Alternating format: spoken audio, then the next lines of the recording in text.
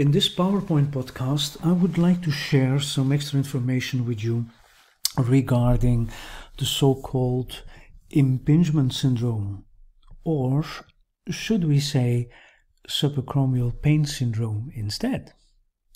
Well, remember, when you watched the films on the basic examination of the shoulder and the films on rotator cuff, then of course we talked about impingement.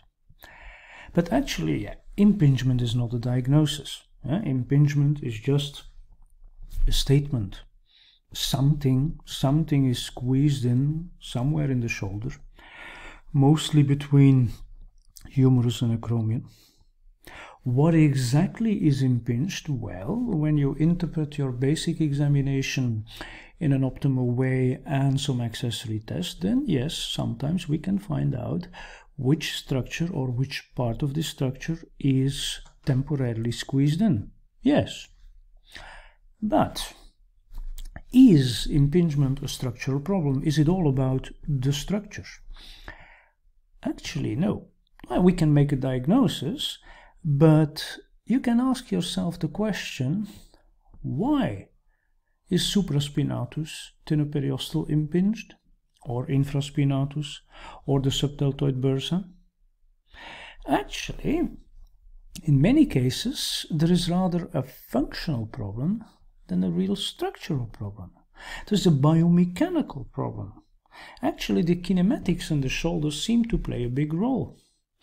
Is there a movement problem in the shoulder? This is an important question. And perhaps because of changed kinematics, perhaps that could be the reason for which, for instance, a supraspinatus or any other structure gets impinged. So keep that in mind. So that's why we don't like to use the word impingement too much subacromial pain syndrome would indeed be a better label.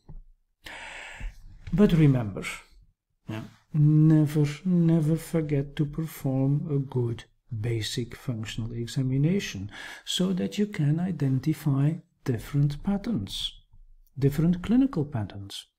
And this, this, this is still a problem because I notice that many people very often they just rely on one or two positive tests. And in many cases those tests are also some accessory tests. Well that doesn't seem to be very reliable.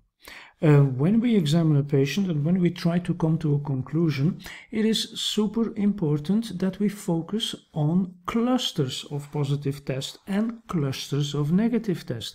This is, in fact, a general rule in basic orthopedic medicine, so keep that in mind.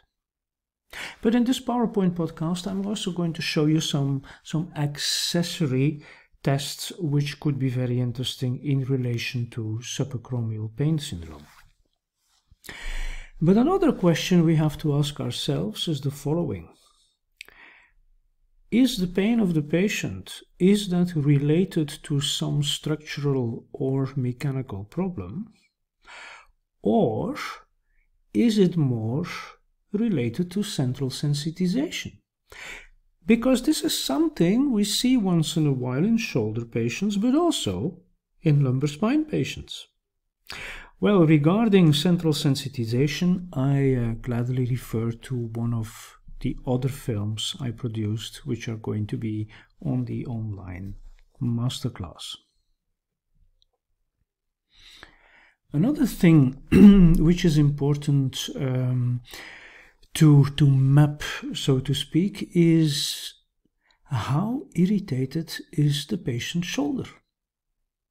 And remember, if you watched the basic films on examination procedure, the basic examination procedure. And if you watch the films on diagnosis of arthritis, then, then you already know what I'm going to say now.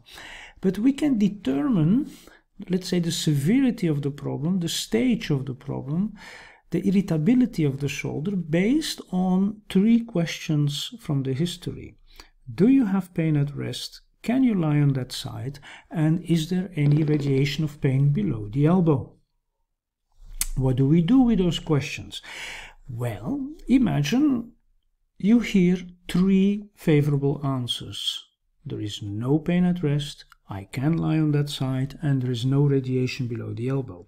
Well, in that case, that would be a slightly irritated shoulder. We call that a stage 1. Let's imagine you get three unfavorable answers. Yes, I have pain at rest. No, I can't lie on that side. And yes, there is more pain, uh, radiation of pain that goes further than the elbow. Well, then you have a highly irritated shoulder, which we call stage 3. Any combination of favorable and unfavorable answers is a stage 2. When we apply this logic to arthritis, then when you watch the films of the arthritis diagnosis and treatment strategy, then you know that the treatment strategy of a stage 1 arthritis is totally different than the treatment strategy of a stage 3. So that's important to realize. We can also find an extra thing from the functional examination. We do our passive tests and let's imagine you do a passive movement and first you provoke pain, pain, and you go further and further and you provoke pain, pain, pain, and then the patient says, no, no, no, stop, that's enough. This is highly irritated. Pain before the end of the movement. If you reverse the situation, you do the passive movement you go to the end of the movement and then, you give a slight overpressure and then you're going to provoke end range pain. This is a slightly irritated shoulder. And another thing to keep in mind is there any fear avoidance for movement during the functional examination? We not only see that very often with shoulder patients, but we also see that for instance with lumbar spine patients. So it is quite important to, let's say, motivate the patient during the passive and active and resisted movement testing. Yeah, okay.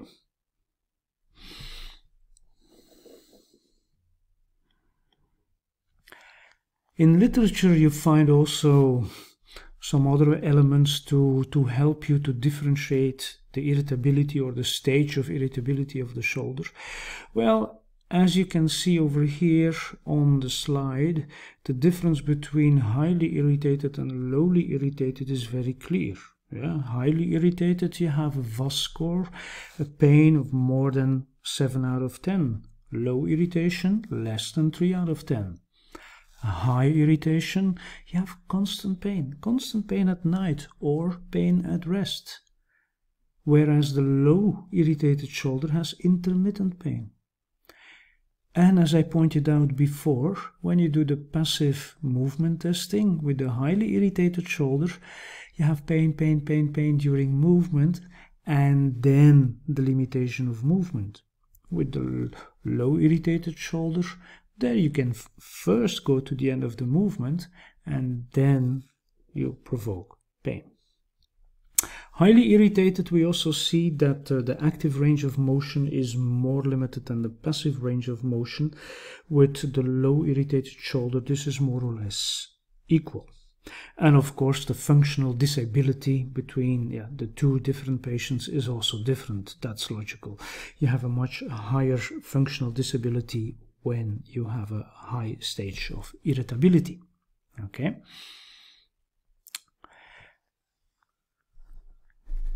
Remember the basic examination procedure we did. Yeah. We did some active tests, some passive tests, some resisted tests, and if necessary, also some accessory tests. But as I told you earlier, I'm going to talk more about some accessory tests in a few minutes. Um, Professor Cools, who is an authority on uh, shoulder diagnosis and shoulder treatment, uh, she is suggesting to, to classify shoulder tests in the following way. You have four groups of tests. and we are already uh, familiar, those of you who already did a, basic training program in, in modern orthopedic medicine, you're familiar with the symptom provocation test, you're familiar with the symptom reduction test, and you're familiar with the tissue flexibility test, which are the normal, let's say, passive test. You're familiar with that. But keep in mind, whenever you do some tests, Never ask to the patient, does it hurt? Because when you watch the films on the basic clinical reasoning principles, then in those films I explain you in detail why this is not a good question. If you ask this question on a test, then you have a very high probability to reach a wrong diagnosis. So we don't ask, does it hurt? But instead we ask, does that change anything? And then the patient has three options. The patient can say, no, doesn't change anything. Or it hurts more. Or it hurts less. But if the patient says it hurts more, don't automatically assume that it hurts more on the same location as where he described his pain before. Now, it's quite possible that during a certain test you provoke some pain somewhere else. So this is something you have to interpret because this could have important diagnostic consequences. And then a fourth group of tests is added, the tissue failure test. And those are, those are active tests. We ask the patient to perform a movement, for instance, uh, an internal rotation movement in the shoulder. Yeah, put your hand behind your back. And here again, we don't ask, does it hurt? But we also don't ask, does that change anything? Uh, actually, we just ask, can you do that? Is that possible or not? So the question is, is the structure capable of performing its function? This is, let's say, this is the only, the only purpose of this test or this way of testing. Well, um, let me show you some, some extra tests, specifically uh, in relation to subacromial pain syndrome. For instance, the Neer test. Yeah. The therapist is pushing the scapula down. We incorporate internal rotation in the shoulder, and then we move passively to anterior elevation. Well, when you provoke anterior shoulder pain on this test, then yeah, we think of some kind of subacromial impingement. But if you provoke posterior pain, then you think more of an internal impingement, more specifically in the glenohumeral joint. So that's perhaps that's perhaps interesting to differentiate. Other tests are the empty can test and the full can test, or empty can test is also called the Jobe's test.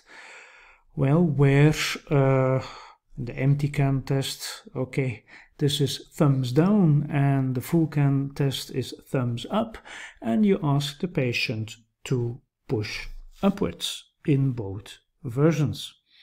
But then the question is, how do you interpret this kind of test? Well, of course, both of them are impingement tests.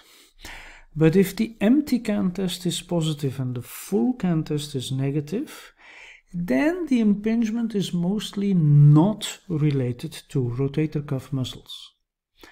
If the full can test is positive, then we think more of supraspinatus. But also compare that with the regular resisted abduction test from the standard position and perhaps also compare that with your resisted abduction test from a lying position. Yeah? Because remember, if we want to make a differential diagnosis between, on the one hand, a contractile structure and on the other hand, an inert structure, for instance, the bursa, then we're going to see that there is a difference in answer on the resisted test when you change the position. But I refer uh, for more information on that specific clinical reasoning part, I refer to the films on bursitis, which are also on this platform, of course. Another test is the Hawkins-Kennedy test. Yeah, you support the patient's arm and then you give a nice provocation into internal rotation. And if this test is positive, yes, this is another indication for a subacromial impingement and not for an internal impingement. In other words, not glenohumeral. Okay? And then there's another test, the so-called relocation test. Remember that as an accessory test, we did the anterior apprehension test. The patient was standing and we incorporated the same position as you see now the patient is lying. But the purpose was to provoke some instability feeling. Of course, this test can also be positive uh, if there is some kind of impingement. And what do we do now? Well, the patient, we do it in lying. The patient is in lying. And first, you just do it from, let's say, in the normal way. Yeah, you just go to the end of a movement and you provoke. Yeah. But then you repeat the test and you add a posterior glide in the humeral, the glenohumeral joint. And this is interesting because then you can start to compare the two, the two versions. This relocation test is considered to being positive if the pain diminishes during the test. So that means that any impingement is secondary, that the pain is more elicted from excessive anterior translation of the humeral head. Ah, that's interesting. Remember what I said before? The kinematics in the shoulder could play an important role. The test is negative if the pain simply persists, if there is no difference between the basic version and the version with posterior pressure. So that gives an indication of a primary impingement and most likely the symptoms are not dependent on the position of the humerus. There are some more tests. The O'Brien's test, well, you can do that in two ways. You can do that with thumb down and thumb up. So you go to anterior elevation, some adduction, and then thumbs down or thumbs up, and the patient is asked to push with his arm down. And how can you interpret those tests? Well, it's very simple. Um, this is interesting if you suspect a labral tear. And in that case, the test is going to be more painful when we do it with the version thumbs down. Okay? During active elevation, we can also ask to do or to perform this active elevation with, let's say, a scapula assisted elevation. Yeah? So we guide manually the movement of the scapula. And perhaps it's interesting to compare this version with just a normal version from the basic examination without our manual help. Perhaps, perhaps if the patient has a painful arc, perhaps it could be related to some scapular dyskinesis. But let's put a question mark behind that. This is not an absolute certainty. Well, following shoulder pain clinical reasoning algorithm has been uh, proposed by uh, Professor Cools. The difference between a subacromial conflict versus a glenohumeral or internal conflict. Well, this difference is pretty clear. In the subacromial conflict, the Jobe test is positive. Glenohumeral, the Jobe test is negative. Subacromial, Hawkins is positive. Glenohumeral, Hawkins is negative. Subacromial, the Neer test provokes anterior pain. And the internal conflict, the Neer test is provoking posterior pain. So I think, I think if you if you suspect kind of subacromial pain syndrome, and you finished your basic examination, then it's quite interesting to also add those tests to it. But as I told you before, never forget your basic examination. Yeah. And then the clinical reasoning algorithm continues.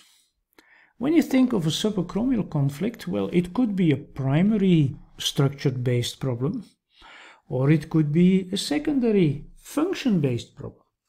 Primary structure-based, for instance, uh, contractile structure, uh, bursa, those things.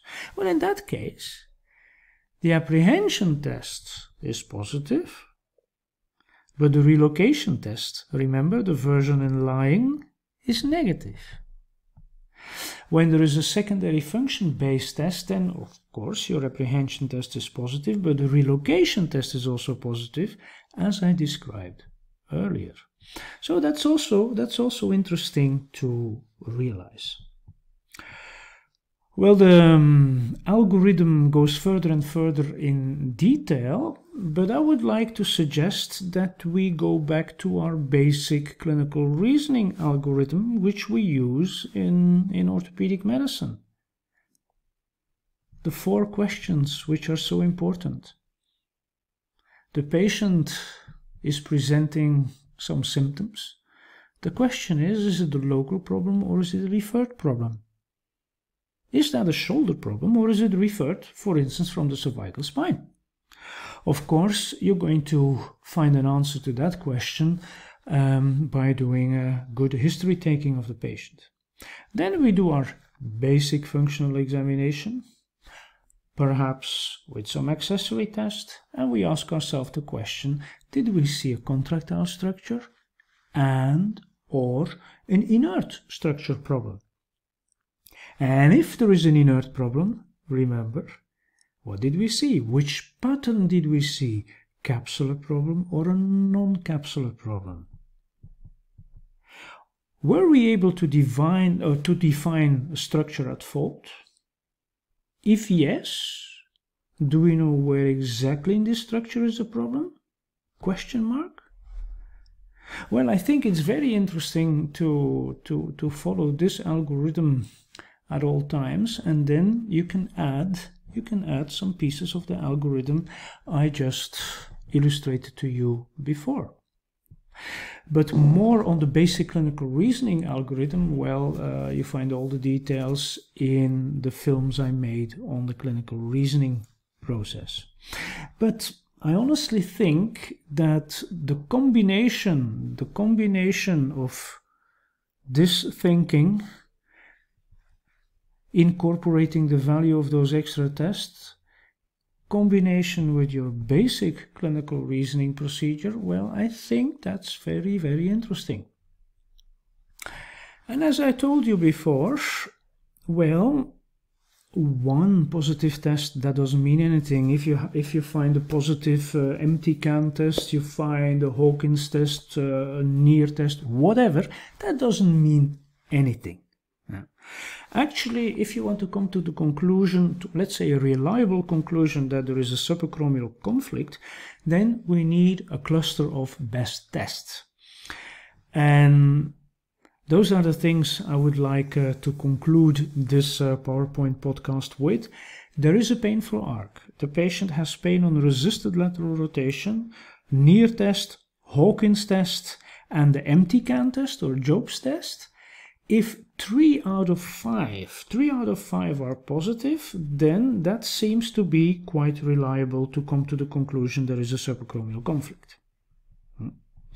And as pointed out before, okay, we can define a structure, perhaps we can treat the structure, but we may also not forget the biomechanical aspect, yeah, the kinematics of the shoulder. So three out of five. To conclude, whatever test you do, when we focus on symptom reduction tests, symptom reduction tests seem to have a higher validity, are more interesting than just symptom provocation test. So, so far so good.